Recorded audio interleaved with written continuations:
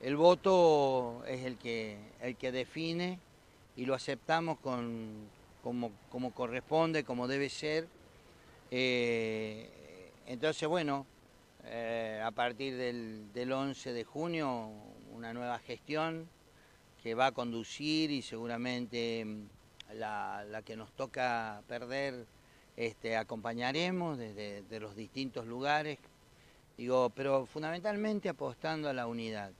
Debemos encauzarnos este, en ese camino donde la institución no sea una organización benéfica social abierta a la comunidad porque es un patrimonio privado, pero sí creo que debe tirar, y en lo que me queda de gestión, tiraré todas las líneas y puentes necesarios para poder, digo, eh, enamorar, si se quiere, a aquellos que, que, entiendan que este es el camino, ¿no? dentro de la legalidad, dentro de, dentro de estos principios. Nada en, el, en la vida es, horizontal, tan horizontal, digo, cuando hablamos de, de, de, gobiernos, cuando hablamos de gestiones y demás, ¿no? Siempre debe haber un organismo, una organización con un orden, este, como sucede en una escuela, ¿no? Es decir, el cargo de supervisión general, supervisores, directivos y cargos de base. Bueno, lo mismo pasa en una organización como esta.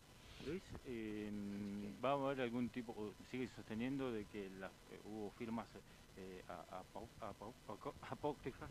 Este, las firmas apócrifas. Eh, bueno, eso es una... Lo, algún, algún lo, vamos, lo vamos a evaluar, eso está planteado, este, habrá que poner en manos de los abogados esta situación, porque en definitiva, este, de no hacerlo, por ahí este, la otra parte podría considerar que es una calumnia, una injuria este, de parte de un perito de justicia y de parte de quienes hemos planteado también esta, esta situación. Se va a evaluar, lo vamos a charlar, es decir, no, no, no es momento para, para hacer usted un análisis tan, tan apresurado.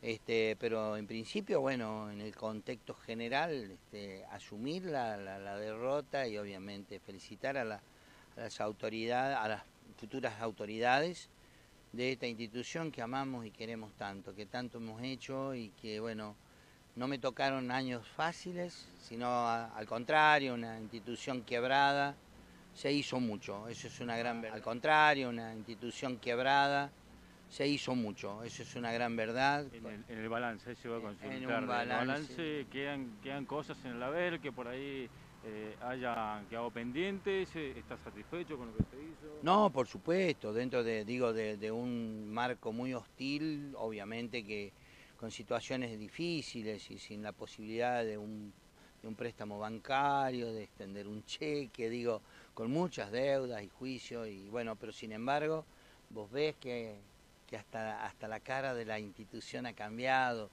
con una farmacia, con,